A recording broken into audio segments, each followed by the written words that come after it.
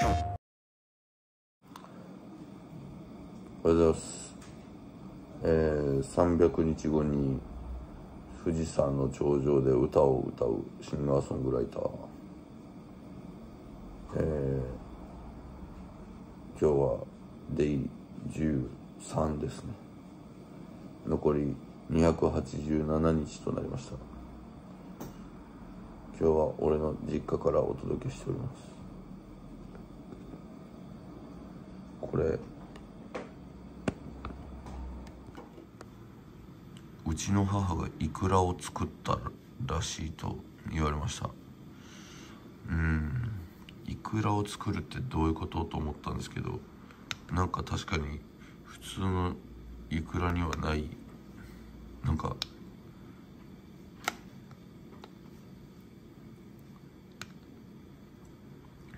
なんか血100みたいな。ぬるぬる動く感じがあります。これめっちゃうまいです。えー、そしてばあの祖母由紀子作です。えー、小皿が全部同じですね。可愛いですね。えー、今日はちょっと朝のトレーニングをする時間がないのではい今現在7時半なんですけどまあまあちょっと出なあかんなという感じです。飯食って支度をしたらもう出発します。はい。では。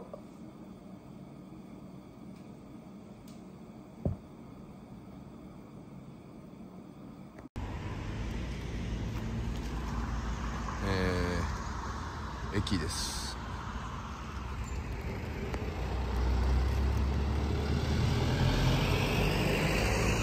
空真っ青。いや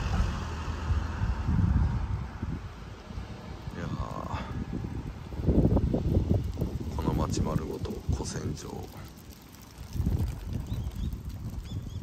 うん。これが俺の地元です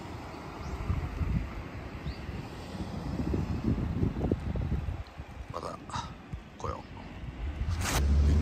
ういつもの何はこうえー、大阪帰ってきました。草刈りがしてありますね。えー、ちょっとあまり時間がないので、えー、サクッとえー、20周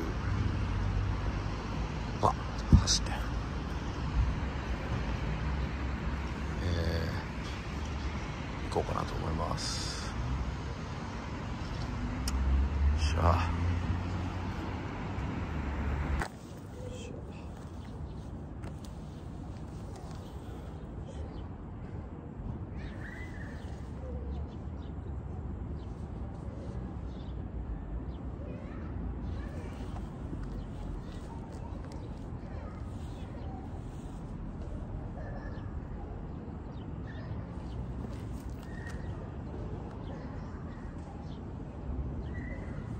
そういえば。毎日のように柔軟をしまくっているのでなんかえらい体柔らかくなった気がします。気がするだけかもしれんけど。ちょっとまたえー、これぐらいなんですよ今みたいなのをまた後日取れればいいかなと思いますではしてくるわ